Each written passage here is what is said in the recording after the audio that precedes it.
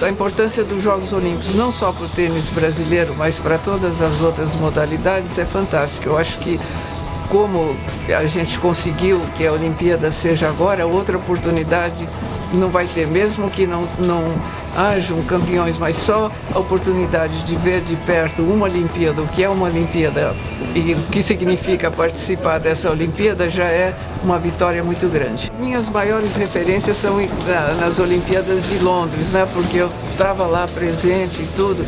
Eu achei o hipismo sensacional, vôlei de praia que foi feito no quintal da rainha, no Palácio de, de Buckingham. Então, quer dizer, isso aí me marcou muito, gostei muito. A maratona é uma coisa que a gente sempre vê que desde sempre uh, se fala em maratona, o 100 Bolt. Então, são essas as minhas memórias. Depende muito de quem vai ter está em melhor, melhores condições nessa época, né? É, é meio difícil. Tem muita gente que está se programando para vir para cá, gente de grande categoria, como Djokovic, Federer, Nadal.